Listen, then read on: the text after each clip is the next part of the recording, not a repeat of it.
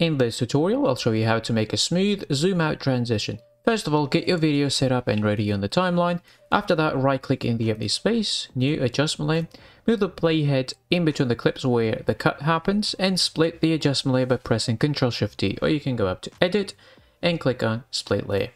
After that, go to effects and presets window, search for motion tile, add motion tile to the first adjustment layer to the left of the cut, then search for transform and add to both adjustment layers. Then click on the first adjustment layer, go to Effect Controls, set Output Width and Height both to 400 for the motion tile, also check mirror edges. Then for the transform, first of all uncheck the Use Composition Shutter Angle and then set Shutter Angle to 360. After that, move the playhead in between the clips and create a keyframe for scale and set it to 25. After that, move 12 frames back. You can do that by pressing page up key 12 times. And set the scale to 100. That looks weird at the moment, but we're going to fix it later. Now let's move back to the uh, cut point. Select the second adjustment layer. Again, uncheck Use Composition Shutter Angle. Set it to 360. Create keyframe for scale. And set it to 400.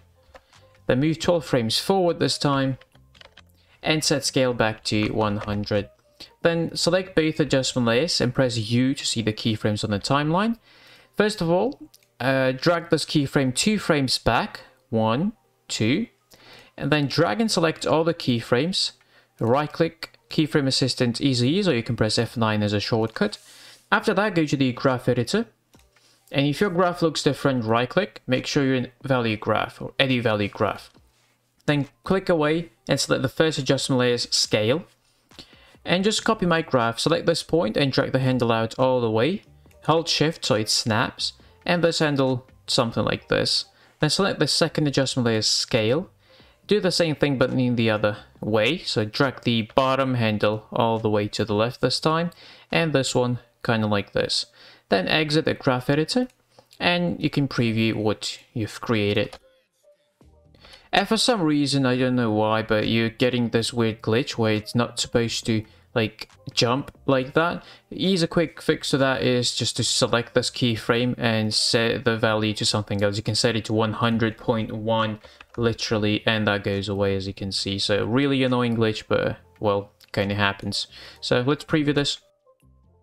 And that's how you make a quick, smooth zoom out transition in Adobe After Effects. So if you like this quick tutorial, let me know in the comment section down below. Thank you for watching, and I'll see you in the next one. Peace out.